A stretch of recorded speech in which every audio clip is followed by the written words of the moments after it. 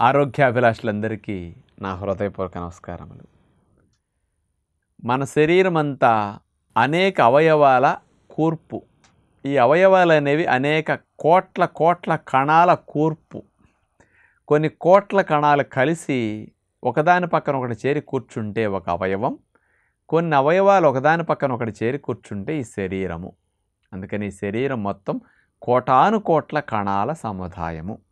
మరి ఈ కణజాలము సెల్స్ అనేవి ఆరోగ్యకరంగా పనిచేయాలి అంటే అనేక లవణాలు కావాలి. అలాంటి లవణాల్లో అతి ముఖ్యమైన లవణం సోడియం నెంబర్ టూ లవణం పొటాషియం. ఇతర లవణాలన్నిటికంటే కూడా ఈ రెండు అతి ముఖ్యం. కాబట్టి ఈరోజు పొటాషియం గురించి ఎక్కువ చెప్పుకోబోతున్నాం. ఈ పొటాషియం అనే లవణం కరెక్ట్గా మన శరీరానికి ఎంత కావాలి అది ఏం మేలు చేస్తుంది వండినప్పుడు అది పోతుందా? ఎంత పోతుంది? ఈ విషయాలన్నీ మీకు అవగాహన కలిగించబోతున్నాం. ఇంతవరకు ఇప్పుడు స్పెషల్గా పొటాషియం మీద ఎప్పుడు చెప్పలేదు కాబట్టి ఇప్పుడు డీటెయిల్డ్గా మన ఫాలోవర్స్ అందరికీ ఈ అవగాహన. మన బాడీకి ఈ పొటాషియం అనే లవణం రోజుకి రెండు వేల ఐదు వందల మిల్లీగ్రాములు కావాలి. ఈ పొటాషియం అనేది మన బాడీలో కండరాల్లో ఎనభై శాతం ఉంటుంది. లివర్లోనూ బోన్స్లోనూ పదిహేను శాతం ఉంటుంది. నరాలలో ఆ కణజాలంలో ఫైవ్ పర్సెంట్ ఉంటుంది. మొత్తం ఒక ఎనభై కేజీల బరువు కనుక మీరు ఉంటే నూట నలభై గ్రాముల పొటాషియం మన శరీరంలో ఉంటుందట టోటల్గా. అంత బరువు ఉన్న వాళ్ళు ఎంత ఉంటుందని ఇది బాడీలో పొటాషియం కావాల్సిందంతా ఎందుకు కావాలి పొటాషియం అనేది? మన శరీరంలో ఫ్లూయిడ్ బ్యాలెన్స్ మన శరీరంలో డెబ్భై శాతం నీరు ఉంటుంది కదా ఈ డెబ్భై శాతం నీరు పెరగకుండా తరగకుండా బ్యాలెన్స్ చేయటానికి పొటాషియం అతి ముఖ్యంగా ఉపయోగపడుతుంది. వాటర్ లెవెల్ మెయింటైన్ చేయడానికి ఫ్లూయిడ్ లెవెల్స్ ఫ్లూయిడ్ బ్యాలెన్స్కి అంత అవసరం అన్నమాట. ఇక ఈ పొటాషియం అనేది కణము లోపలికి ఆహారాలు వెళ్ళటానికి వ్యర్థాలు బయటికి రావటానికి ఆకర్షణ వికర్షణ ఈ మెకానిజం పనిచేయటానికి పొటాషియం అతి ముఖ్యంగా కావాలి. మనకి ఎనర్జీ రిలీజ్ అయ్యేది సెల్లోనే. మీరు పని చేసుకోవడానికి కావాల్సిన శక్తి హీట్ ఎక్కడ ప్రొడ్యూస్ అవుతున్నదంటే కణమ లోపలే. మరి ఆ కణమ లోపల ప్రొడ్యూస్ అవ్వటానికి పొటాషియం అతి ముఖ్యమైన పాత్రను పోషిస్తూ ఉంటుందన్నమాట. అందుకని చాలా చాలా అవసరం. మనం తిన్న ఆహారం ద్వారా టేస్ట్కి ఉప్పు వేసుకుంటున్నాం కదా ఈ ఉప్పు అవసరానికి మించి ఎక్కువ తినేస్తున్నాం. ఈ ఉప్పు అంతా లోపల ఎక్కువ పేరుకుంటే మళ్ళీ ఇబ్బంది శరీరానికి. అందుకని సాధ్యమైనంత వరకు కొంతనన్నా ఉప్పు బయటకు పంపించడం కోసం పొటాషియం హెల్ప్ చేస్తుంది అన్నమాట అందుకని ఈ ఉప్పుని కాస్త ఎక్కువ లేకుండా బయటికి పంపించినప్పుడు లోపల కణజాలానికి అవయవాలకి కొంత హెల్ప్ జరుగుతుందన్నమాట. అందుకని ఈ మెకానిజం కూడా ఉపయోగపడుతుంది. అట్లాగే కండరాలు సంకోచ వ్యాకోచాలు జరగటానికి అతి ముఖ్యంగా సోడియంతో పాటు పొటాషియం కూడా కావాలన్నమాట. ఇది చాలా అవసరం.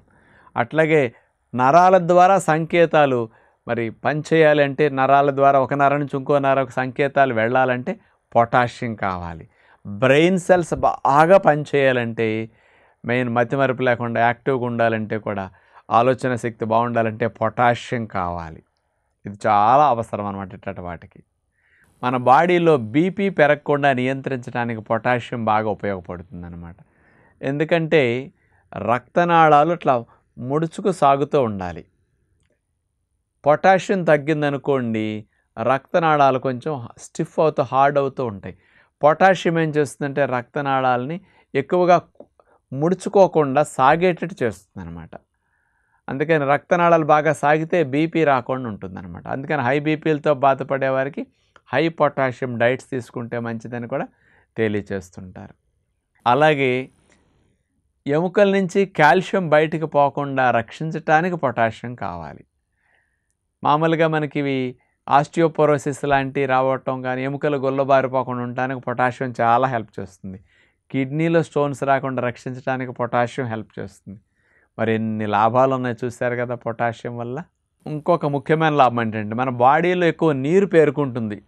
ఆ నీరు ఎక్కువ పేరుకోకుండా కాస్త ఎక్సెస్ వాటర్ని యూరిన్ ద్వారా బయటికి పంపించడానికి కూడా పొటాషియం మెయిన్గా ఉపయోగపడుతుంది. అందుకని కాళ్ళకి వాపులు నొక్కితే సొట్ల పడటాలు కానీ ఒళ్ళు ఉబ్బటాలు కానీ నీరు పట్టేసి పొటాషియం లోపించినప్పుడు కూడా నీరు ఎక్కువ పట్టేస్తూ ఉంటుంది. అందుకని ఇది బయటికి పంపించేస్తూ ఉంటుంది అనమాట ఇవన్నీ పొటాషియం చేసే పనులు.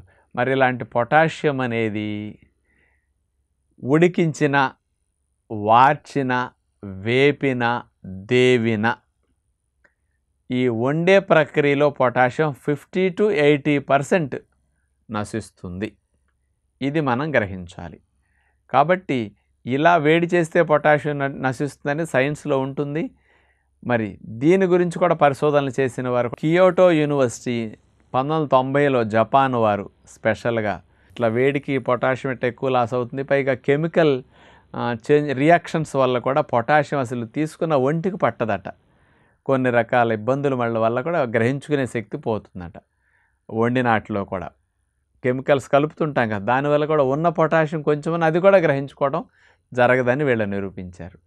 అంచేత ఇలాంటి లాభాలు మనకు రావాలంటే సాధ్యమైనంత వరకు వండినవి ఎంత తగ్గిస్తే అంత మంచిది. అందుకని నేను ఎప్పుడు కూడా చెప్తాను వండకుండా ఉండే న్యాచురల్ ఫుడ్స్లో తొక్కల్లో పొటాషియం ఎక్కువ ఉంటుంది. కాబట్టి ఎప్పుడన్నా సలాడ్స్ చేసుకునేటప్పుడు క్యారెట్లు ఇట్లాంటివి కూరగాయలు కడిగేసుకుని లేత వాటిని తెచ్చుకుని అట్లా సలాడ్ చేసుకుంటే పొటాషియం బాగా వెళుతుంది. వెజిటబుల్ జ్యూసుల్లో కూడా మంచిగా ఉన్న లేతగా ఉన్న వాటిని తొక్కలు తీయకుండా బూడిద గుమ్మడి కానీ సొరకాయ బీరకాయ దోసకాయ ఇట్లాంటి టమోటా కీరాలు ఇట్లా వాడతాం కదా మనం. వీటిని ఫ్రెష్గా కడిగేసుకుని శుభ్రంగా క్యారెట్లు అలా కట్ చేసుకుని వేసుకుంటే పొటాషియం బాగా వెళ్ళిపోతుంది అనమాట అసలు లోపం రాదు ఇక. వండలేదు కదా. అందుకని ఇట్లా తీసుకోండి. సలాడ్స్ ఎక్కువ వాడండి. న్యాచురల్ ఫుడ్స్ ఎప్పుడు కూడా అన్నిట్లో పొటాషియం బాగా ఎక్కువ ఉంటుందన్నమాట.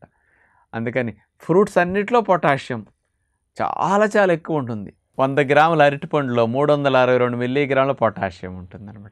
కొబ్బరి నీళ్ళలో రెండు వందల పదిహేడు మిల్లీగ్రాముల పొటాషియం ఉంటుంది. వంద గ్రాములు. ఒక బొండం తాగామంటే దగ్గర దగ్గర ఆరు వందలు వెళ్ళిపోతున్నది అది పొటాషియం ఇక్కడ చూస్తే. అందుకని న్యాచురల్ ఫుడ్స్లో బొప్పాయి జామకాయలు రేక్కాయలు దానిమ్మ ఇట్లా ఏ ఫ్రూట్స్ తిన్నా పొటాషియం రిచ్గా ఉంటుందన్నమాట. అందుకని రోజులో మీరు sixty seventy percent natural foods తినండి. వండి తిన్నందువల్ల మధ్యాహ్న పూట ఏమైనా కోల్పోయిన పొటాషియం కానీ ఇతర పోషకాలు కానీ ఉదయం సాయంకాలం న్యాచురల్ ఫుడ్స్ తింటే అసలు ఏ ఇబ్బందులు రావు. అందుకని బీపీ కానీ గుండె కానీ రక్తనాళాలు కానీ కండరాలు కానీ ఎముకలు కానీ నరాలు కానీ ఇవన్నీ సవ్యంగా పనిచేయాలంటే అనేక పోషకాలు కావాలి. ఇప్పుడు పొటాషియం లాగా. మరి ఇవన్నీ న్యాచురల్ ఫుడ్స్లో పుష్కలంగా వస్తాయి అన్నమాట కాబట్టి ఉదయం సాయంకాలం సాధ్యమైనంత వరకు వండకుండా జ్యూసులు సలాడ్స్ స్ప్రౌట్స్ నట్స్ ఎండు ఫ్రూట్స్ డ్రై ఫ్రూట్స్ ఇలాంటివన్నీ ఎక్కువ వాడుకోవటానికి ట్రై చేయండి. కొబ్బరి నీళ్ళు చెరుకు రసం ఇవన్నీ చాలా మంచిదన్నమాట.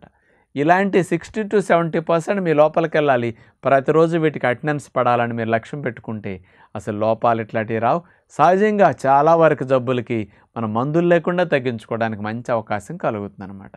కాబట్టి పొటాషియం రిచ్ డైట్స్ని మనం తీసుకుంటూ ఆరోగ్యంగా ఉందామని ఆశిస్తూ నమస్కారం.